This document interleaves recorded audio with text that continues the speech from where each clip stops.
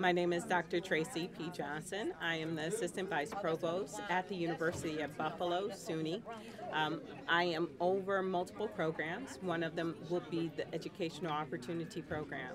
This tri-state, I brought nine of my staff members, nine of my counselors, and I feel it's important that as a director, as someone over an opportunity program, that we introduce our staff to tri-state for the collegiality, for the knowledge that they gain. Um, it expands their experience and their perspective. So they just don't have the UB perspective, but they have the tri-state perspective, which comes from as comes from Pennsylvania, comes from New Jersey, it comes from New York State, upstate as well as downstate.